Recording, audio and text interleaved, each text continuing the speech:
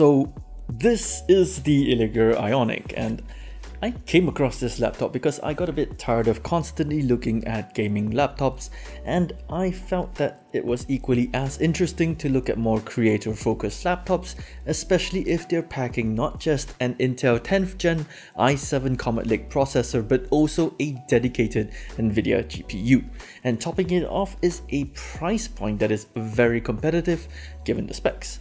I'm also very curious to test this laptop out as in the past I've used the Asus ZenBook and while it was good enough of course, it cost me way more than this laptop did right here so alongside seeing how well it would have suited me when I was constantly traveling, writing and I needed you know something light. I do want to see how well it would have handled my workload of game development in both Unity and Unreal Engine and you know, video editing in DaVinci Resolve, especially compared to an Intel 9th gen part.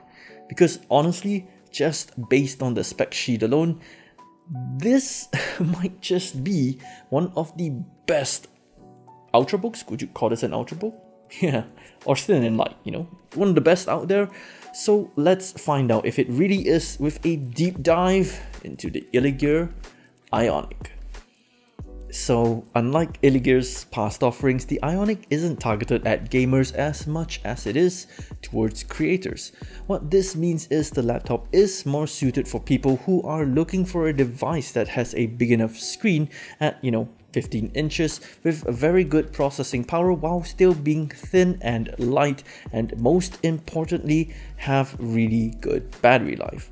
This makes the Ionic perfect for people who are not only, uh, you know, not necessarily into gaming, but rather into core heavy workloads like video editing, photo editing, 3D workflows, and of course, if you're like me, game development, and I'm definitely interested to see how well the Ionic handles my daily workflow as a game developer. Now, since I talked a little bit about processing power, I think now might be a really good time to talk about the processor inside of it. So for those of you who are unaware, there are actually two kinds of 10th gen Intel processors, Comet Lake and Ice Lake, and well, I guess recently as well, there's now a Comet Lake H. So Anyway, Ice Lake is based on the new 10nm process node and is more tuned towards higher graphics performance with its new 11th gen um, integrated GPU and better battery savings.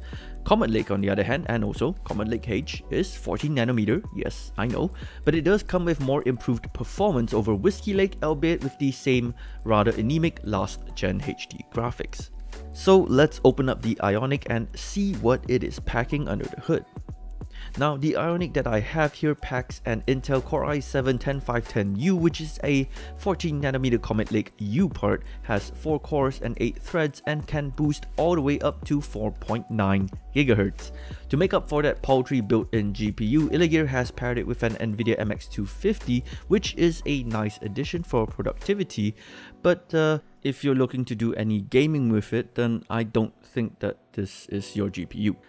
It also comes with 16GB of DDR4 2666 RAM and bear in mind that it only comes with one RAM stick slot so if down the line you're looking to do any uh, upgrading, you're going to want to get a large single stick of RAM.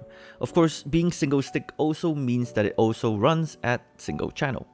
In terms of storage, it normally does come with a 512GB stick of NVMe storage, but the unit that I have is special in that it comes with a high-performance Seagate Barracuda 510 SSD, though it is a bit smaller at 256GB.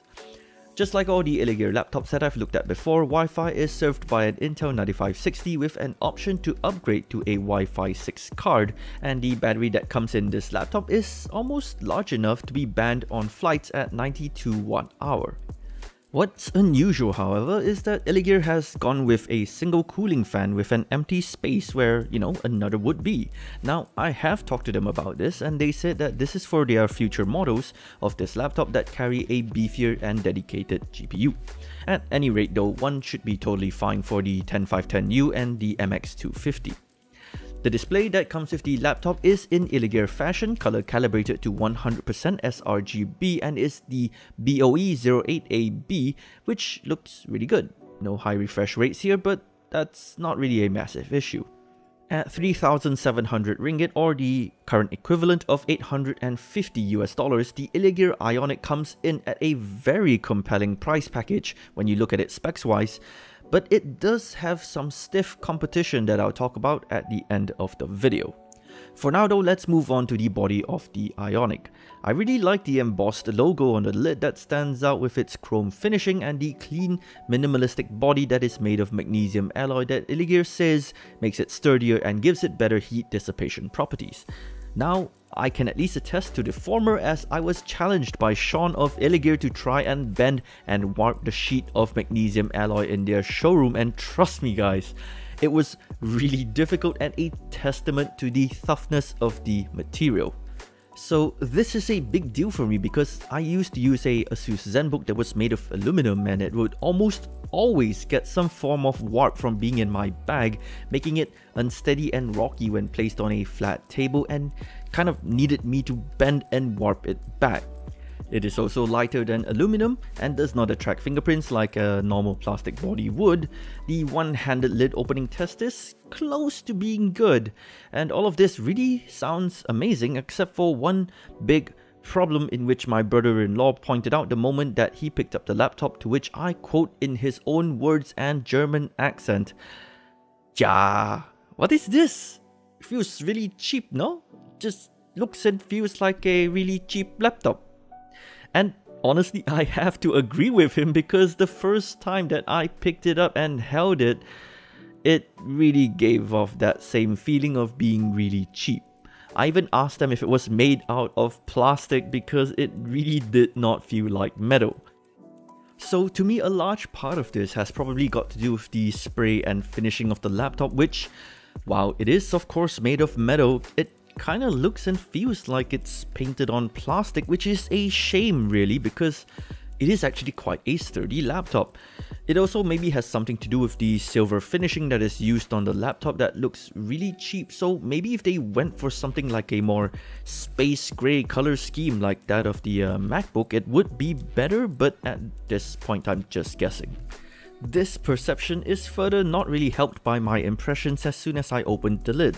Now this might of course just be a localized issue with the unit that they loaned me but the black bezel around the display actually pops off a little bit on the left and right corners with the left being more pronounced and the keyboard.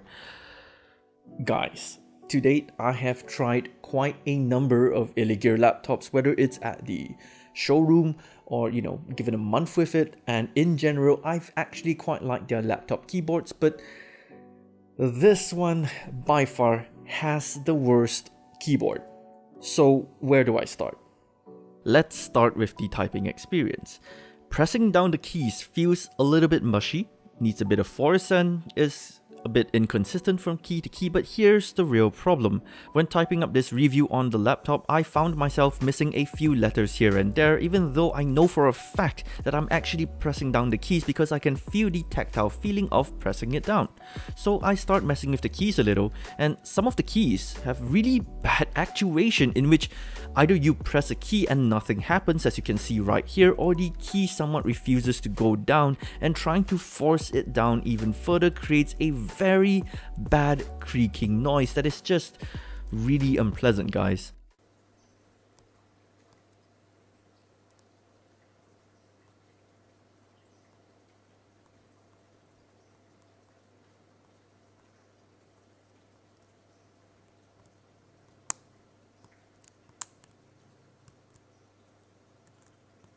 The thing is, it's not just a single key that exhibits this strangeness too, because it seems to be a number of them.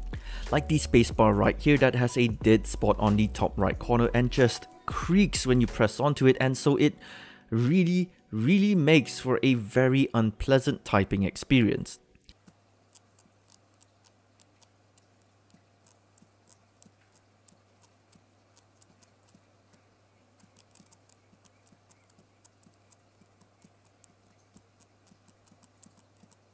Being a creator focused laptop and as such more geared towards someone who might spend more time typing on the whole keyboard than just using the standard gamer keys of WASD, I find this to be a bit of an oversight because if anything, it should have the best keyboard. Then there is the backlighting.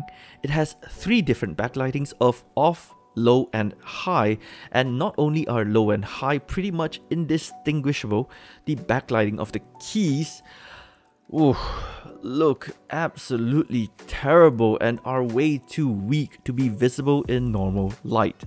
I also don't understand why their laptops so far that have been focused on gamers have a full-sized keyboard with a numpad, but one that is focused on creators is lacking one.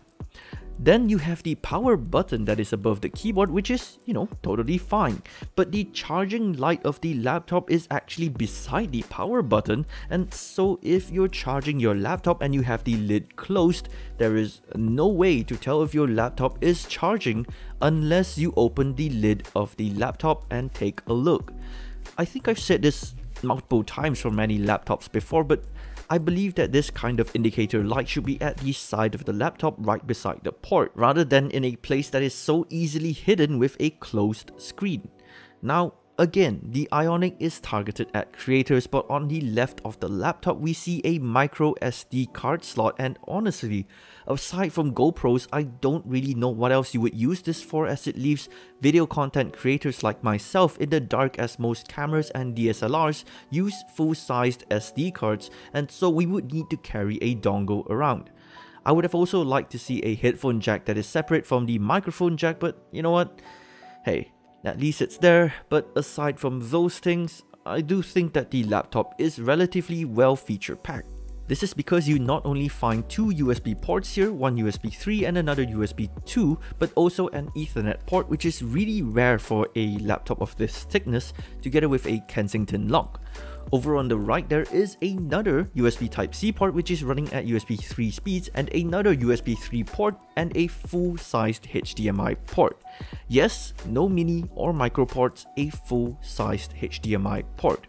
You will also find the power port here of course and on that note the power brick is actually pretty light and is made by FSP, outputs 19 volts at 3.42 amps and weighs in at just 380 grams. Finally onto the physicality of the laptop, it is fairly light at 1.48 kilograms and has a relatively small dimension for a 15 inch machine but I found that the specs listed on Illegear's website is different from the real world measurements where I suspect that they may have taken the shortest side of the laptop to measure instead which, um, let's just say I don't agree with. So based on my measurements then the laptop is of 357mm in the width, 237mm in depth and finally not 15mm but rather 20mm thick if you're including the feet, meaning um, 20mm off the desk. Onto the usage of the laptop, while I do like that the screen is large and color accurate, I do find that just like every other Illegear laptop that I've tested, it doesn't go dim enough in a dark room, which is not really a deal breaker but just a minor annoyance. Aside from that though, guys, honestly said, this has really got to be the most satisfying experience I've had using a thin and light notebook. I say this because this guy has amazing battery life and it is you know amazing.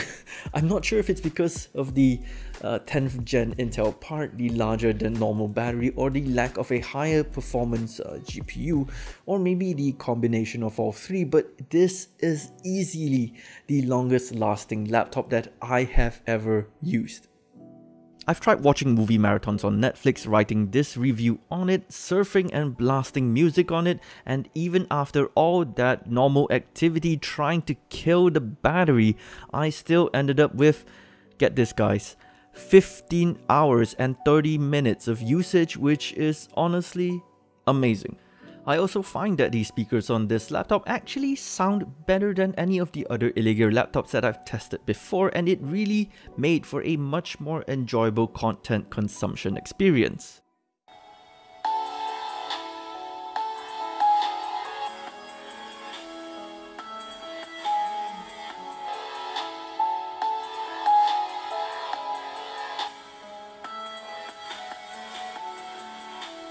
Of course, once you start to hit up the more performance intensive tasks, the battery life will take a hit, but even then it is a relatively mild hit, and the performance when you're doing things like game development, video editing and photo editing is really good. Moving on to a bit of benchmark numbers, in Cinebench R20 it scored a multi-core high of 1261 and after a 15 minute loop it managed to maintain that score consistently with a maximum temperature of 86 and a all-core turbo of about uh, 2.8 GHz. This of course means that it never thermal throttled even once, um, even with an ambient temperature of 29 degrees Celsius and managed to deliver consistent performance, proving that the one fan setup that Illegear has gone for is more than enough to keep the chip in check. The single core benchmark isn't too bad either at 354 which is pretty close to the 393 of the 9750H and what you have to remember here guys is that while the 9750H is a higher wattage high performance chip, the 10510U in the Illegear Ionic is a ultra low voltage part that would normally perform a lot lower. Seeing the numbers here, I feel that they're pretty good for an ultra thin, ultra portable laptop, but if you need more performance, well, then obviously you're better off with a H series part. So it goes without saying of course that you shouldn't expect gaming to be amazing on this laptop but even with that said, I find that it's still not too bad because of that Nvidia MX250 GPU and it can even run Neon Noir on very high as you can see here which is a CryEngine ray tracing benchmark and it runs it perfectly fine at about 30 FPS albeit you know at 720p.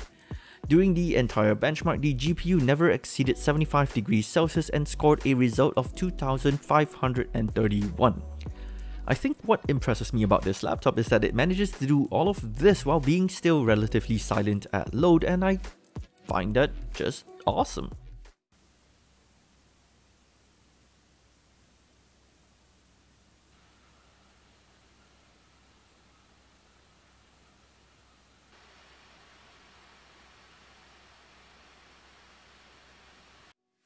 So what's my conclusion of the Illegear Ionic? Well, if you've ever heard that saying that beauty is only skin deep, then I think that it applies to this laptop except that it's the other way around. I really love how insanely long the battery life is on this laptop, the performance that you get in a slim and light package that remains quite silent, the speakers that sound better and even then you still get a large color accurate display that is great for productivity.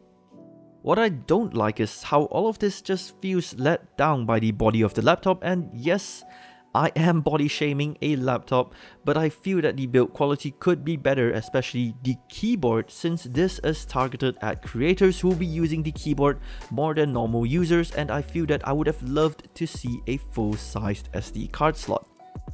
Now I mentioned before that competition for this laptop is definitely out there and I mean it because you can actually get laptops from like Dell, HP, Acer with similar specs here in Malaysia for very similar price points.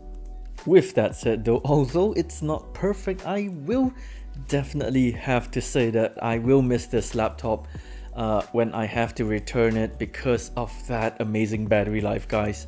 And so, you know what? If Illegear goes ahead and addresses the build quality issues that I highlighted here in this video with their next creator focused laptop, then I may actually end up running away with it when they send it to me for review. Jokes aside though, I hope you guys enjoyed this video. If you did, you can do the usual YouTube thing of giving it a like, sharing it around, dropping your comments down below on what you think about this laptop. Make sure that you're subscribed and notified for when my next videos go out. And yeah, my name is Yang, the tech rodent, and well, yeah, you know what? It's honestly getting a bit hairy out there these days. Stay indoors and stay safe, guys. I'll see you in the next video.